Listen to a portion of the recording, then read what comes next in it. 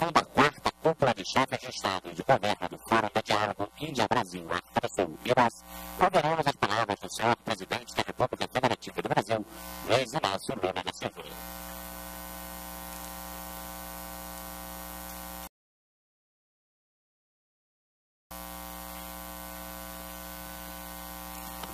Meus amigos, minhas amigas, meu caro presidente Zuma, da África do Sul, meu caro amigo, primeiro-ministro Singh, da República da Índia,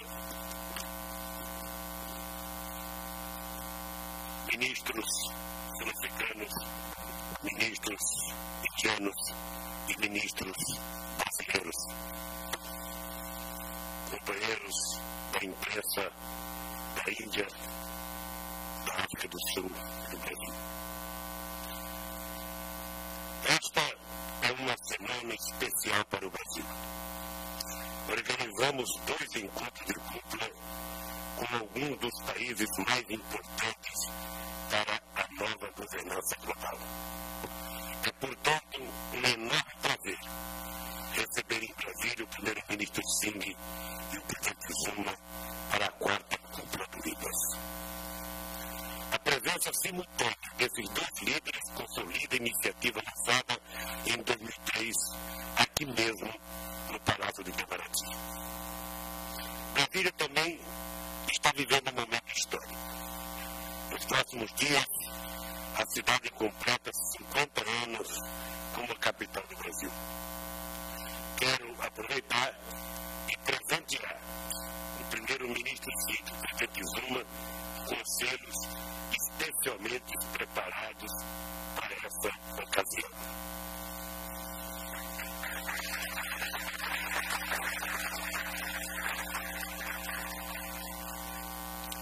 Eles representam uma homenagem à reunião de hoje à cidade que recebe pela segunda vez uma cúpula do Ribas. Encontros de vários setores de nossa sociedade e de reuniões de grupos de trabalho que cobrem ampla variedade de temas de governo. O setor empresarial também está entusiasmado, como vimos no seminário IBAS BRIC, realizado ontem no Rio de Janeiro. Anunciamos hoje o desenvolvimento de dois satélites IBAS, o primeiro para estudos climáticos e segundo para observação da Terra. Beneficiarão os países do IBAS e outras nações amigas, com nossos avanços em matéria de agricultura, navegação, transporte e área de telecomunicações.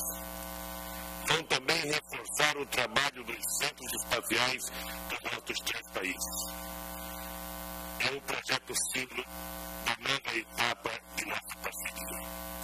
Também estamos lançando hoje um livro Fórum de Mulheres do IBAS sobre a relação entre gênero e desenvolvimento.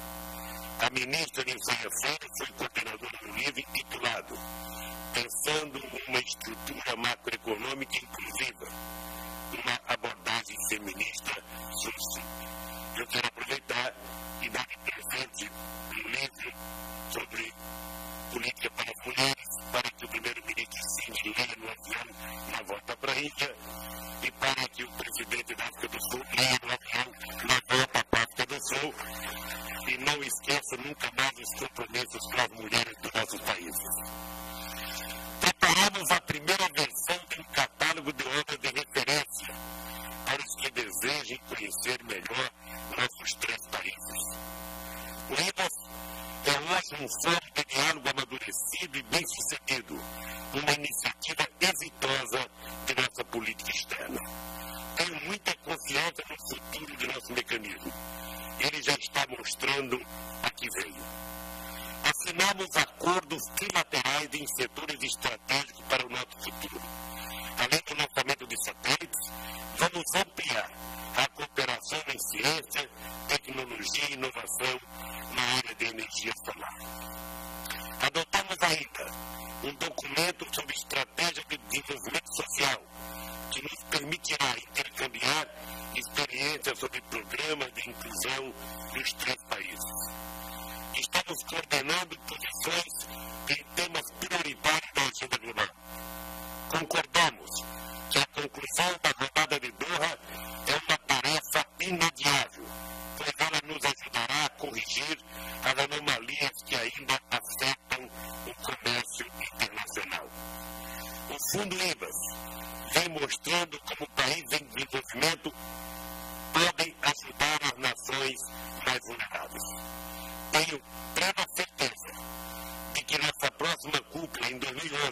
2011, na África do Sul, vai consolidar ainda mais nosso mecanismo e nossa capacidade de ajudar a construir um mundo melhor.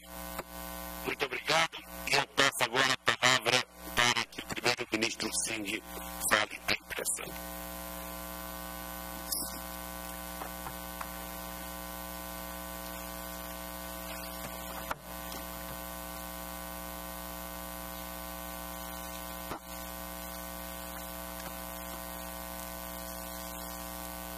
Excellency, President Lula, President, President Zuma, ladies and gentlemen of the media. President Lula, President Zuma, and I have just concluded a very useful round of discussion on our multifaceted cooperation under IBSA and on several important global issues.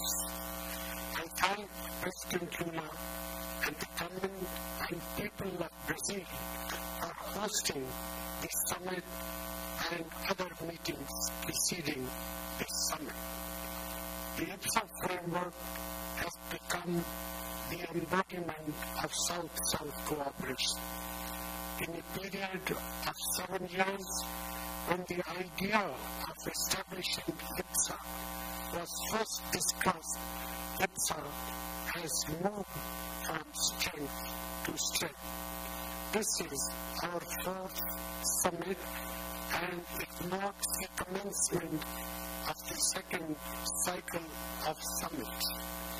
We have developed an institutional structure for enhancing our trilateral cooperation in diverse areas such as agriculture, science and technology, energy, economic cooperation, transportation, ocean research, science and technology, and space. Promotion of people-to-people interaction and greater mutual awareness of each other is a hallmark of IBSA process. The several forums and working groups that have met here for the past few days strengthen my belief that we are proceeding in the right direction of strengthening civil society interface among our three countries. IBSA is largely a people's project. The collaborative activities within the IBSA framework hold immense promise for our people. IBSA countries have rich experience of consulting each other on global issues. We have worked together on trade, development, and climate change issues. We share similar views with regard to the reform of global institutions of governance, including the United Nations. We are united by the primacy we accord to development and issues such as food security, social inclusiveness, and energy security. IBSA has now entered a phase of consolidation. In this summit, we have agreed to focus our efforts on the implementation of the various initiatives we have launched under the IBSA framework. We have issued a joint declaration that spells out our common approach on global issues confronting our countries and our societies. Ladies and gentlemen, I firmly believe that IBSA has developed into a vibrant organization and will continue to play an important role in global affairs. I pay homage to the pioneering zeal of President Lula, which has contributed immensely to making itself an innovative forum for promoting South-South cooperation. I thank you.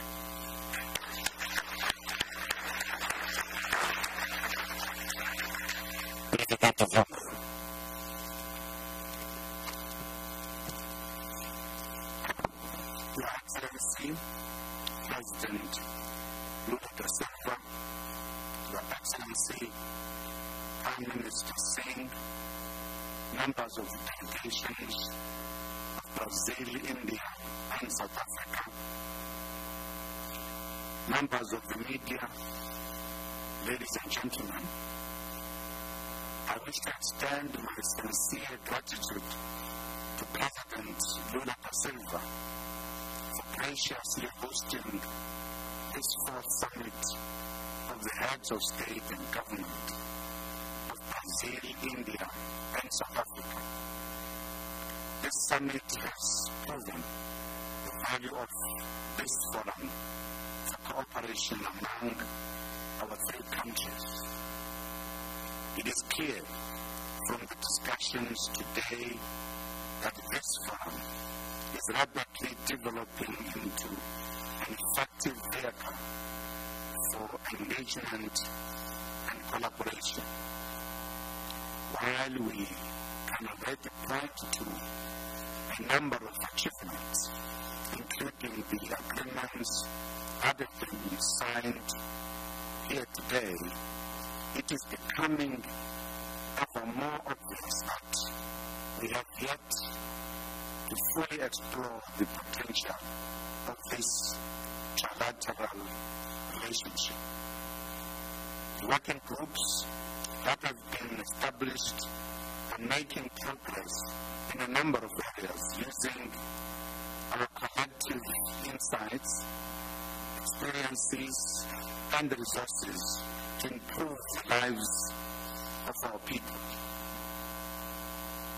We have had an opportunity today to review the work being done and to indicate areas where we need place additional effort.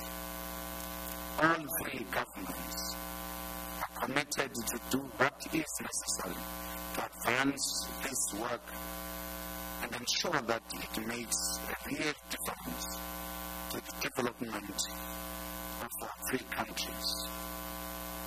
South Africa is particularly excited about the proposal an IBSA satellite project. It offers an opportunity to expand our cooperation into advanced technology, increasing our collective scientific and engineering capacity. We see this initiative as an opportunity to reinforce our shared developmental objectives. Joint satellite could lend support to areas like agriculture, education, energy, health, information and communications, trade, and transport. Ladies and gentlemen, we also had an opportunity to discuss various multilateral issues. We have seen in recent times the importance of IBSA as a forum within the broader international community. Brazil, India, and South Africa each occupy an influential position within their respective regions and hold similar views on key global issues. We are therefore in a position to make a significant contribution to global debate and engagement. This was clearly demonstrated at the Copenhagen Summit on climate change in December last year. where the IBSA countries, together with China, played an important role in reaching agreement the Copenhagen Accord. We have been able to effectively represent the interests of the developing world in such multilateral forums. In this context, we had a useful discussion about the reform of multilateral institutions, especially the UN Security Council. We can no longer accept situation in which the majority of the world's people remain inadequately represented in such bodies. As the IBSA countries, we have resolved to work together and with other countries to advance reform of the UN Security Council and other institutions to make them more representative, more democratic, and more responsive to the needs of the poor. We'll also continue our collective efforts to combat climate change. This includes further collaboration around efforts to address environmental challenges in our respective countries. We each have significant natural resources that need to be used sustainably and significant potential to develop renewable energy capacity. We will also continue to engage in the broader global effort to achieve a legally binding agreement on climate change. Will once again within the basic group and with like-minded countries towards a successful outcome for the next COP meeting in Mexico in December.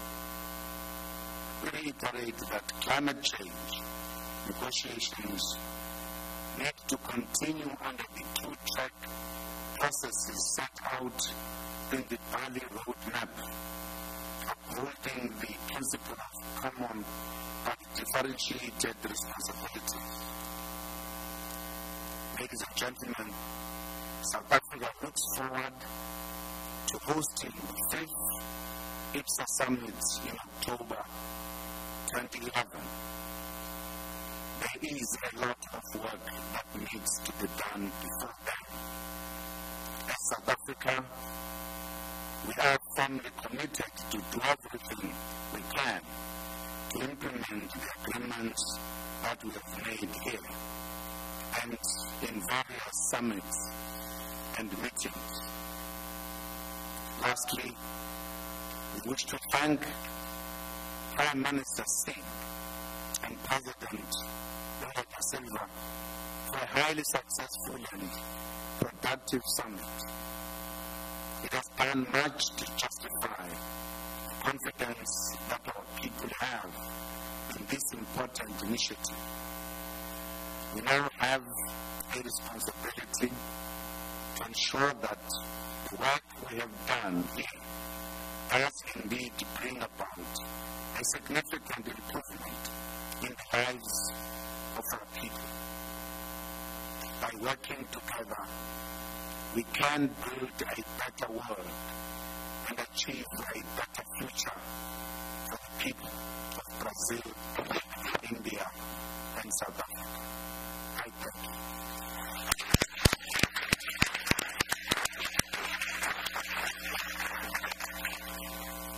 a conferência de imprensa para fazer uma quarta cúpula de chefes de Estado do governo do Fórum de Diálogo Índia-Brasil,